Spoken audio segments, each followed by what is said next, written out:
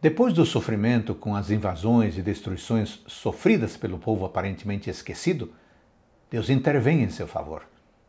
Os montes inimigos são julgados, mas o monte de Israel receberá bênção. Mais uma vez, Edom representa os inimigos do povo. Nesta profecia, Deus contrasta seu juízo divino com a restauração do povo, que será tanto física quanto espiritual. Assim, o Senhor cumprirá sua promessa com um propósito eterno.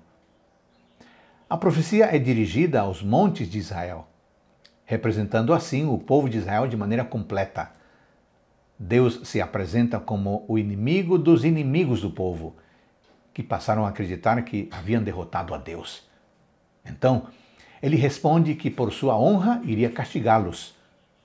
O que eles queriam derramar sobre Deus e seu povo agora cairia sobre eles mesmos.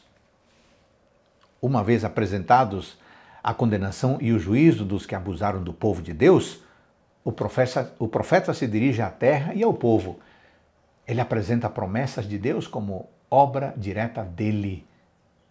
Como a produção da terra, ele menciona que a graça de Deus está com eles. Como primeira medida, eles se multiplicariam e habitariam nas cidades, uma volta que seria permanente. O povo tinha consciência de que o dono absoluto era Deus. Então, o inimigo que tomou a terra confrontou o Senhor. A partir de então, o povo não seria mais zombado entre as nações. Deus não havia se esquecido de suas promessas. Mesmo que eles tivessem pecado e sido expulsos da terra, essa promessa seria cumprida em seus descendentes. Sabe de uma coisa? As promessas do Senhor são seguras. A partir do verso 16 começa uma nova mensagem. A palavra do Senhor veio a mim, onde se menciona as razões pelas quais Deus castigou o povo. Em primeiro lugar, as desobediências da lei cerimonial, a violência sobre a terra e a contaminação com ídolos. O Senhor sofreu porque seu nome foi profanado à vista das nações e o fato de o povo não ter mostrado uma mudança que merecesse restauração também trouxe sofrimento ao coração do Pai. Não haviam realizado nenhum ato que merecesse o favor de Deus através do perdão. Somente pela graça de Deus, o Senhor tomou a decisão de levá-los de volta à terra. Portanto, como primeiro passo, Deus promete devolvê-los à terra e depois purificá-los completamente de suas impurezas.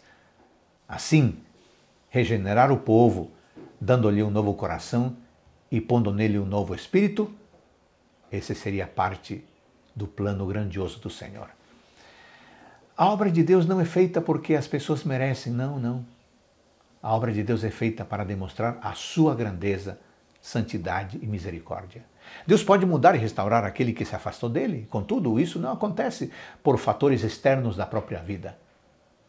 É pela obra do Espírito Santo que a mudança é alcançada. Esse novo estágio de relacionamento com Deus é uma experiência de fé, na qual o homem ideal, o ser humano ideal, vive em plenitude com seu Criador. Quer você plenitude na vida? Aproxime-se do Pai Celestial. Amém.